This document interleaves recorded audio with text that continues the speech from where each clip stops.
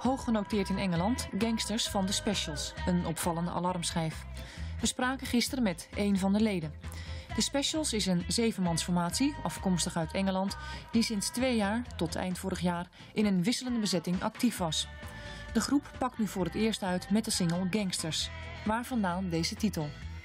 Like I said, the band's been going for two years, and during those two years, we've met an awful, and we have come into contact with quite a few um, various people from the music biz who um, we um, weren't very pleased with, shall we say.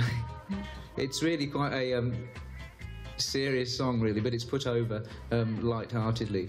You know, the expression tongue-in-cheek, you know. De titel van de plaat hebben ze opgehangen aan de niet al te integere figuren die ze sinds de twee jaar dat ze in het muziekwereldje ronddartelen zijn tegengekomen. Is het waar dat de groep geënt is op de dertiger jaren? The 30s, well, um, I think Jamaican music has always, well, it is like a, a is the, the, the main influence at the moment. I wouldn't say the, the, the 30s.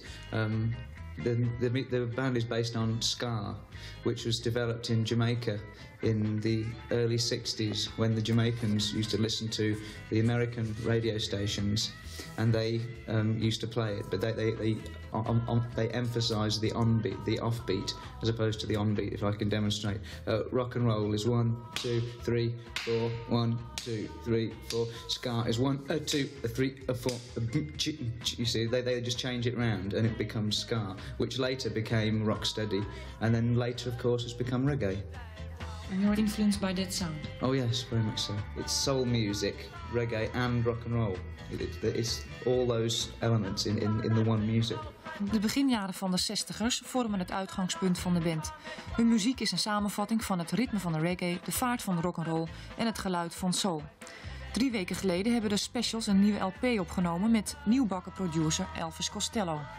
Uit eigen ervaring weten we dat Elvis contactuele eigenschappen nogal eens te wensen overlaten. Hoe was de samenwerking? Um, I think last year Elvis Costello was on on the road in America for nine months, and I think that's enough to sort of make anybody feel a little bit aggressive after a while. You understand, you know, with sort of being on the road a long time. You do change a little bit, but he is he's a very straightforward bloke. He's a, a very you know we are friends. You know, he, he's a, a very e easygoing bloke. Really, like, really with him. But the, the, the LP will, um, I think, will surprise a lot of people. It's, I'm, I'm really knocked out by the way it's been going. Costello's agressief gedrag wijt hij aan zijn oververmoeidheid van de zware tournees. De specials hebben prima samengewerkt en als we ze mogen geloven zal het een zeer opzienbarende LP zijn. We wachten het af.